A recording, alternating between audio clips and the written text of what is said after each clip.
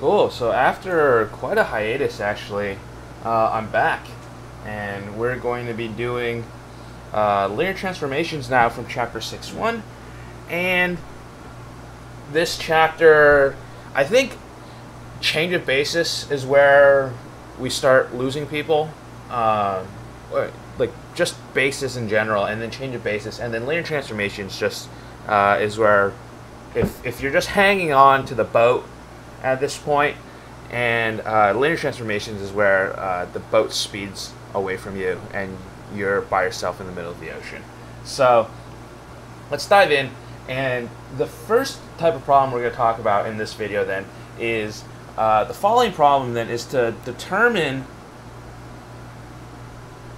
if the following follow following is a linear transformation. Okay. So they'll give you some map, okay, and you'll have to determine if the map is a linear transformation. So for example, let's say I have the map T, all right, that sends something in M3R to R, okay? And T is defined by T of A is equal to trace A. Okay, so let's go through this notation first of all and see exactly what this means. So this T here, uh, this is the name of the function. Okay, so T is just the name of the function. M3R on the left side of this arrow, this is the input vector space. So what I'm doing then is the function t takes in something, an input from M3R. Okay, so we can only input 3 by 3 matrices into this function t. And R then is the output vector space. Okay? So that's that's what this first line is telling us about. And the second line here then is what the function actually does. So the function takes an A. So you'll notice A is actually, let's actually use the correct color here. A is in M3R. So A is going to be a 3 by 3 real matrix. And the output then, the function T takes the trace of A. And you see that since the trace of A is just one number, then the trace of A is in R. And so what we have to evaluate now is we have to determine if T is a linear transformation. And so how do we do that? Well, in these type of problems, the biggest thing we have to do is play with the definitions. So the big idea for this type of problem is to play with the definitions. And so what do I mean? Well, well, I, well, I mean this, okay? So to show that this is a linear transformation, what do I have to do? Well, the definition of a linear transformation, right? What's the definition of a linear transformation? And I'm going to abbreviate linear transformation linear transformation as lin trans uh, most of the time. Okay. Uh, the definition of a linear transformation is that t of a plus b is equal to t of a plus t of b, right?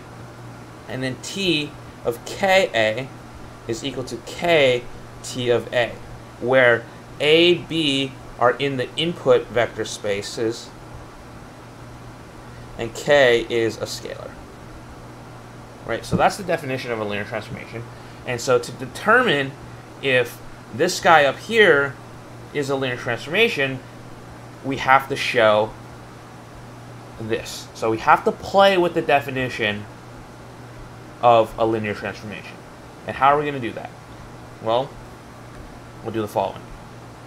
So I need to show that t of a plus b equals t of a plus t of b. So let's say I have a and b are matrices in M3R, right? A and B are in my input vector space. because from the definition, A and B have to be in the input vector space, right? So A and B are matrices in M3R. And so I want to show what T of A plus B is. Right? Well, T of A plus B by this second line, right? By the second line up here, by this second line right here, it says that T of A is equal to trace A. Well, now, imagine if I replaced this A with A plus B. Well, that means T of A plus B must equal the trace of A plus B, right? T of A is equal to the trace of whatever's in the parentheses, and so since in the parentheses I have A plus B, then I must have A plus B in the trace here. Okay, cool. So T of A plus B is equal to the trace of A plus B. Okay, but does this automatically then equal T of A plus T of B? Well, we're kind of jumping steps if we go from here to here. So we need to show intermediate steps to show that we actually get T of A plus T of B. And how do we do that? Well, we realize that trace, the trace of A plus B, is actually equal to the trace of A plus the trace of B. Okay? And this is a property of trace. It should be in uh, your notes. You guys should cover it in class. Uh, it's also in the book somewhere. Not exactly sure where, but probably when they mention trace. So the trace of A plus B is equal to the trace of A plus the trace of B. And then, oh, what do we realize now? Well, the trace of A, right? The trace of A, this is equal to TA right? That's exactly what we defined up here. The trace of A is equal to TA. And then the trace of B is equal to TB. Right? Because if I replace this A up here with a B, then this A has to get replaced with a B as well. So, again, don't just think of A and B, right? These are just temporary placeholders for a matrix. Like A and B are a 3 by 3 matrix, except we just don't know what they are, so they're just a general 3 by 3 matrix at this point. So we got the trace of A plus trace of B, well that means that this is T of A plus T of B. Right? So now we have shown that T of A plus B is equal to T of A, T of B, so we're done with the first step of the definition. Okay?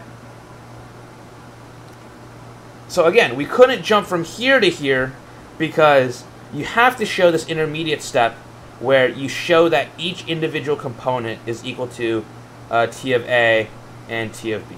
So you can't just jump from this step up here down here. Uh, you won't get full points, uh, let's say on a quiz or on a homework. All right, what's the second part? So this is the first part. The second part, then, I have to show that T of KA right, is equal to kt of A. So now let's say I have a matrix A, a 3 by 3 matrix A, and I have the T of Ka. Well, what is that? Well, that's the trace of the constant K times A, right? K is a constant. K is a constant, right? And what is the trace of Ka? Well, I can just factor out k from the trace. Again, this is another property of trace, right?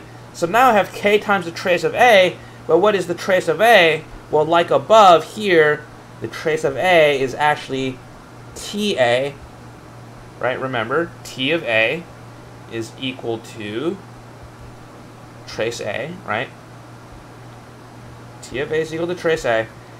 And so now I have k times t of a, and therefore I've shown the second one, so this is a linear transformation. Okay? So the trace of a matrix is a linear transformation.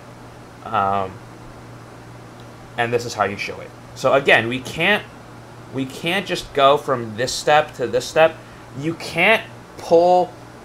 Well, yeah, you can't just say that k uh, trace of ka is equal to k times t of a. You have to show this intermediate step first, where you explicitly get right k times ta by you know splitting each part up. So the idea then again is just to play with the definitions. Remember, the big idea is to play with the definitions. And why is that the big idea? Well, look, here we played with the definition of trace. Right? From this step to this step is by the definition of trace. Right? And from this step to this step is also by the definition of trace. Right? It's by a property or property right? By definition of, or property of trace. So you just got to play with definitions. You got to play with the properties of whatever you're trying to find, and you have to show each step in getting to a linear transformation.